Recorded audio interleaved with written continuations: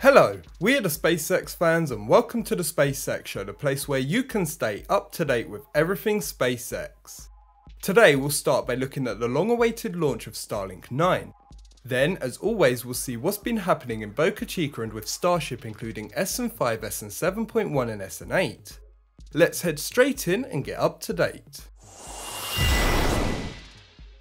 As I said, Starlink 9 along with two Black Sky satellites finally lifted off after many delays. Zero. Ignition. And liftoff.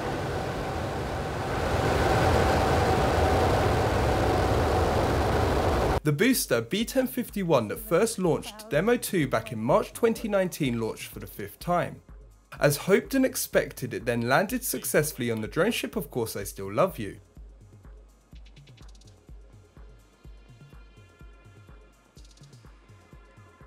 Wow, look at that stage one sitting on our drone ship. Of course, I will still love you. That was a beautiful view of the stage one as it came down there, lighting the clouds up. And in just about 10 seconds here, we'll have second engine cut off there. There's also been some good news in terms of SpaceX and its partnership with the US government. The company, along with ULA, have been chosen to continue launching national security missions for the US. Known as National Security Space Launch Phase 2 Launch Service Procurement, SpaceX were awarded $316 million for a five year contract from 2022 through 2027. That's all for the SpaceX updates, but over in Boca Chica, as you know, SpaceX recently launched SN5. To start with, here is a view of the launch mount that the prototype was sitting on. If you thought SpaceX didn't already have enough cranes, well you can see here that another one has been seen arriving. Like with Bluezilla, this is another Manitowoc crane, but instead this is a Manitowoc 14000. You can see there are parts of it that were spotted all over the place. Looks like they've now already started to construct this new crane over by the launch area. Near the production area where the scrapyard is, workers were spotted scrapping the metal to make room for more scrap. You may remember that some videos ago we saw the arrival of some new robotic welders. You can see one of them already in action here, meaning the automation part of the production line has already begun.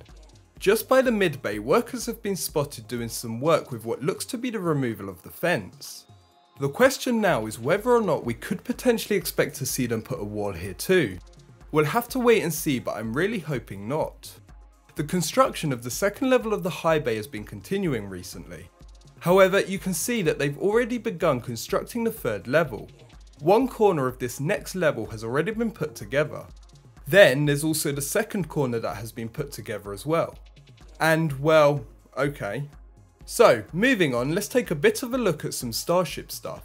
First up, we have a thread where somebody tweeted amazing only Raptor engine can fly SN5. However, Everyday Astronaut responded to say that actually Merlin could potentially do it also, mentioning that the thrust to weight is better than Raptor. Then, Musk responded to say, I think we can get Velociraptor thrust to weight on par with Merlin. Latter also started out with about half its current thrust to weight. Just so you are all aware, Raptor is short for Velociraptor apparently. I personally thought that Raptor was birds of prey just like Falcon and Kestrel, but there you go. Anyway, there was another tweet from somebody asking whether Starship or Super Heavy were increasing by 2 meters. Musk responded with, haha, good catch, Booster will have fixed legs that add approximately 2 meters in height. In response to a tweet from Chris Bergin pointing out the humans for scale in a clip from an NSF livestream, Musk responded to say it will look crazy tall with Booster and fairing at 122 meters or 394 feet. Now let's move on to SN5, I just wanted to begin by showing you this epic shot posted by Elon Musk. This doesn't look real, but I can assure you that it very much is. Then, of course, SN5 was filmed standing tall on its little stubby legs. Here is a closer view of those cute little legs. It appears that SN5 has lost some of its heat shield tiles, looks like once again they were using different methods of attaching them. You may have noticed in the hop video from SpaceX that there was a fire with Raptor SN27 during the flight. Whilst it probably isn't optimal, it didn't cause any significant issues during the test and if anything it's good because SpaceX can learn more. Recently, workers were also spotted getting the prototype prepared to be placed on the roll lift and moved. Next up to look at is what's happening in terms of the SN7.1 test tank. You can see here that we have a barrel section that was moved outside for the thrust section. Of course, that also means that they moved the bottom dome outside too, and so it was placed onto the sleeving mount. Then, the sections were obviously sleeved with one another to be welded together. Also for SN 7.1, we have a new section that has emerged from a tent and been seen in the yard. This is the leg skirt for the SN 7.1 test tank. Whilst I want to say that all of the following is for SN8, I'm not sure that's the case.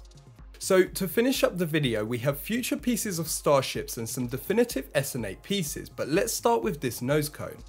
You can see that it has a header tank weld, although what I wanted to point out was not so much the nose cone but the ring stack behind it.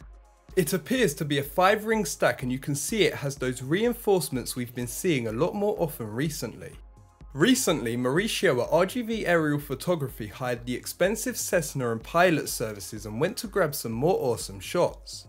Mauricio often does these expensive flights and needs help with funding to keep bringing us these amazing views. There's a link to his Patreon in the description. This fantastic shot shows the nose cone area and what I wanted to point out are some canards sitting on the ground. I'm guessing these maybe arrived with the fins or at some other point, however maybe soon we might see them attached, that will be cool. For other Starship bits, SpaceX have moved another section out of a fabrication tent. Whilst I'm not sure this might be for SN8 and possibly part of the thrust section. Finally, we have some definitive SN8 updates starting with this view of SN6 and SN8 in the mid bay. SN8 has begun the stacking process and so we should pretty quickly start to see this tank grow. Here's a closer look at the stacked section and it's looking good. It's being made from the 304L stainless steel unlike SN5 which I believe is made from 301 stainless. To finish up the video let's take a look at the latest SN8 build diagram with this fantastic image from Brendan again. Will be very interesting to see what sections get stacked in the coming videos. As always, a huge thank you goes to Mary, more commonly known as Boca Chica Gal, as she spends hours in the Texas heat so we get to see this awesome stuff. Plus, a huge thank you to the rest of the NASA spaceflight team. All of your dedication and work to bring us great coverage is admirable. That's it for this episode of the SpaceX Show. I hope you enjoyed the video. If you did, make sure to hit the like button and leave a comment down below. If you want to stay updated with SpaceX info, make sure to subscribe and press the bell icon to get notified when I upload. Thanks for watching and have a great day.